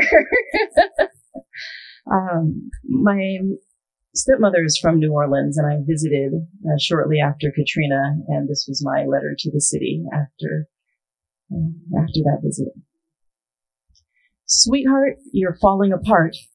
You're becoming the hummed rendition of a song that has been long lost. From your mounds of crumbled co- concrete to your displaced bricks, people are starting to forget who you were. Graffiti tattoos and doorways that reek of urine and booze. Baby girl, your past was reckless. Neighbors can't greet each other through barbed wire fences, and your rusty rail ties lead to more danger signs than depots. What happened that you never sobered up? The milk is sour and the bread is stale. You've got to want to get yourself together. Because, my dear, you're dying. Once your fire goes out and your lights go dim, you'll be discarded like those bottles in your streets, existing as a fleeting memory in the minds of the decrepit. Pitiful little mistress, only you can save you now. Tell me, do you even remember who you are? Okay. I wish I could have left you guys with the mouse situation because that was good. This one's called The Blues. She has every right to sing the blues. She assumes the singer's stance, sequined from mid thigh slits a cleavage, misery crafted into a pretty thing. A room full of indebted pockets and heavy hearts want to be entertained. The audience anticipated a voyeuristic date, all eyes to stage, toward the shimmering black dress and gleam on the saxophone. A marriage to make the loneliest duet. They invite the toe taps and finger snaps, and the room falls into a hypnotic sort of sway. They feel good despite the suffering in the song. The snare whispers secrets like gossip told over shoulders as if everyone didn't already know that she has every right to sing the blues. The lyrics have a way of sliding down the neck and wreaking havoc on the heart, inciting feelings these poor souls don't know to regret yet. The trombone resonates, pulse rate is dictated by the upright bass, heads nod, nod in awe and approval as the sounds of each solo soar into the rafters. She sings her heart out because she has every right to sing the blues. Thanks.